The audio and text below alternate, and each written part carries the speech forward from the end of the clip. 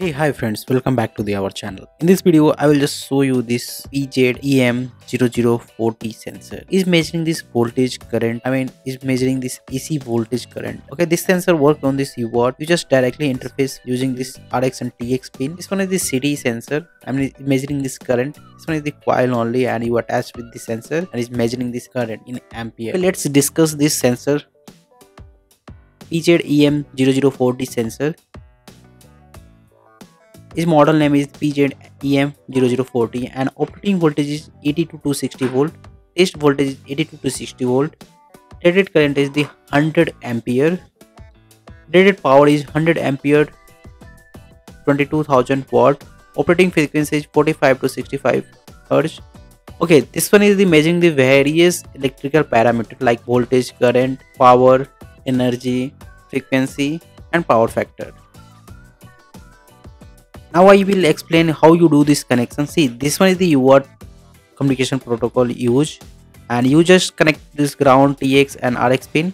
This one is the few sample of this project. I will i will just demonstrate how the sensor will be work. See the lcd will display this voltage current power and frequency.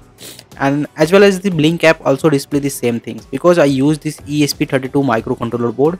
And this project is the iot base. Okay let's go and build this project First we design this circuit diagram. We arrange all these components one by one and now do this connection.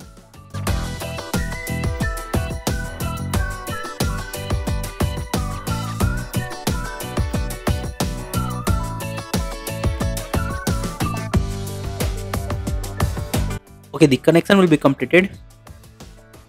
Let's make this hardware. I mean, we put all this component in a 1 0 PCB and attach with this ESP32 microcontroller board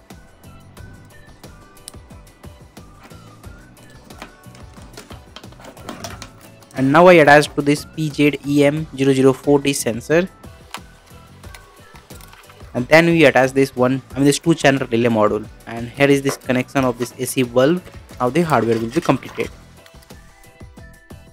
Put this code.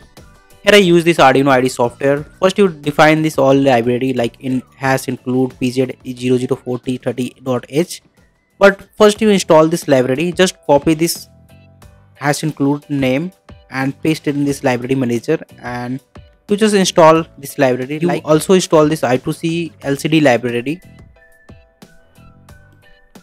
Because if you not install this library properly then the code will be providing this error. Okay? Both library i install it. The Blynk simple esp32 is already installed when you install this esp32 driver in arduino ide software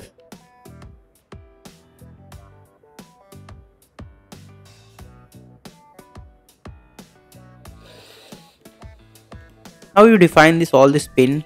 Like the PZ EMG connected to this pin number 16 and 17 relay will be connected to this pin number 18 and you put your authentic key and SSID password. This one is the hotspot username and password. We connected to this relay model. Virtual pin is the v4 void setup is defining this all input and output devices. In void loop i call to this function like current and Blynk run. In void current we defining all these parameters like voltage current power energy and display in this serial monitor as well as this Blynk app. Okay the code will be design it and now just go to these tools select this proper board. Here i use this esp32 board that's why i just choose this proper board. Now you select this proper board and check this port also. Check all parameters and hit this compiling button. After the few seconds the compiling will be done. I mean the code will be not have any error. Let's see this working of this project. First we power off this circuit. And when you turn on this switch the relay will be off. When you turn on the switch the relay will be on. In off condition is not measuring any parameter. We turn on the switch. The relay will be on and bulb will be on. I mean this load will be on then the PZEM sensor is measuring all these parameters like voltage frequency current and watt. In Blynk app is also display the same thing voltage current power and energy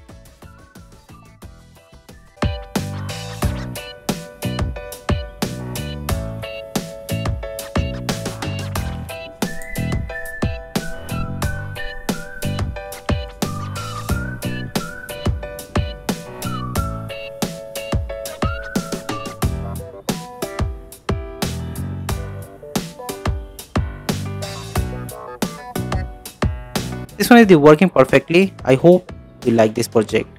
And if you like it please hit the like button. Share with all the friends. If you're new in my youtube channel please subscribe and hit this bell icon to get notification first.